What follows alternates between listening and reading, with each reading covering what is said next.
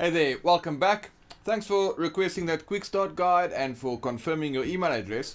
So uh, basically what's going to happen now is right below this video, there's a link to the quick start guide and you can just download that right away. If you're on a PC, you can right click save as. If you're on a Mac, I'm sure you'll know what to do. And then what we're going to do in this video is I'm going to show you three chords, A, D, and E. I'm going to show you how to read chord grids before I show the chords to you. And then um, we're also going to talk about the three different elements of music that you need to understand when you want to learn to play acoustic guitar.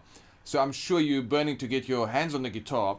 Before we get into those chords, let me quickly show you in the in the quick start guide how you can read chord grids. And as soon as you understand that, which is just going to take a couple of seconds anyway, we'll look at the first three chords, which is A, D, and E. Okay, so uh, let's have a quick look at the quick start guide.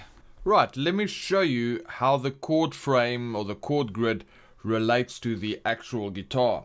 So that because if you can understand that, you'll be able to you know learn any chord you want as long as you have the chord represented on on the chord grid. So basically what this chord grid is all about, it's a visual representation of the actual guitar. Okay, so let's start with the nut, which is the thick black line you see over there. And it's also represented with a thick black line on the chord frame. Next up, if we have a look at the little drawing of the guitar, those vertical lines are the strings, and on the chord frame, the vertical lines are strings as well. Next up, we have the actual strings. Let's start with the sixth string, which is the E string. The E string is also the thickest string on the guitar, and it's got the lowest sound. Right, next up we have the fifth string, which is the A string. After that, we have the fourth string, which is the D string. Then we have the third string, which is the G string. Then next up, we have the th second string, which is the B. And then the first string is also an E string, but in this case, it's actually the thinnest string and it also happens to be the highest in pitch, the highest sounding string on the guitar. Alright, so let's have a look at the frets. As you can see on a little drawing of the guitar, the horizontal lines, they refer to the frets. And then when we go to the little chord grid or the chord frame, once again, horizontal lines represent the frets over there. So let's have a look at an actual example of a chord. In the first thing you'll notice is the chord symbol. And in this case, it is the letter C which means that this is a C chord.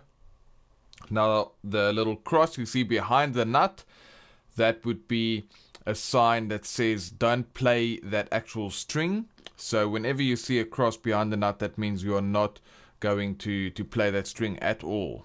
Alright, then when you get to the, the zeros behind the nut, that just simply means it's an open string where we will play the string without actually fingering the string.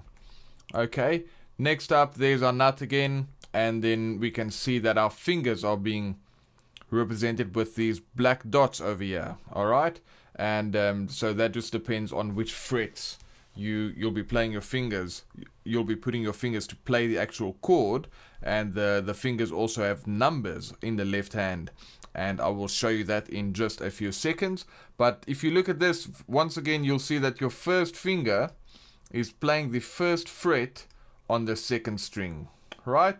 Then the first and third strings are open, meaning we don't play any fingers on those strings. Then the fourth string, we have the second finger on the second fret of the fourth string. And then the fifth string, in this case, is being played with the third finger on the third fret. Alright, and that note there, you can see it's got a little circle around it, which means that is the root note. Now that particular note is an actual C, right? That's why this chord is called C in the with the chord name over there. So but pretty much that is just in a nutshell how you read the chord grids. So uh, when we go over the chords in, in a second, then you will see how that relates to your chords. In the quick start guide, there's a whole bunch of chords as well for you to learn. And now that you know how to read them, you, you can just go and check them out in the quick start guide.